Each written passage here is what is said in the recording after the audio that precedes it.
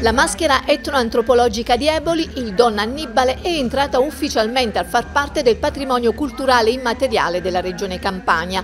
La richiesta era stata presentata nel gennaio scorso e dopo lunghi mesi di attesa è giunta a buon fine. Ad annunciarlo con grande soddisfazione è l'omonima associazione, dopo aver ricevuto il decreto della Direzione Generale per le Politiche Culturali e il Turismo Regionale.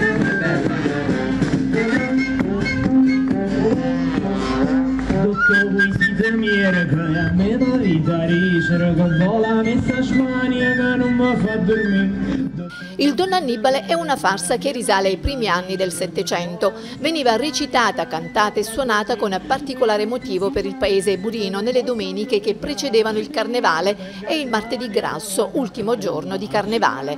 È stata tramandata da generazione in generazione fino ai giorni nostri. La farsa del Don Annibale continua a rimanere in vita grazie anche all'associazione che si prodiga di anno in anno a portare in scena per le vie e le case del paese l'antica rappresentazione, sei le maschere principali interpretate da altrettanti figuranti, Donna Annibale, Giulietta, Zia Agnello, il dottore Pulcinella e Carolina.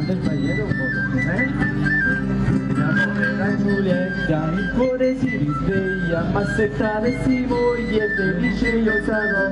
Ora che Donna Annibale ha scritto il suo nome nel registro dei beni culturali immateriali della Campania, spiega Cosimo Parisi, presidente dell'associazione, è pronto a portare il nome della città di Eboli ancora più in alto.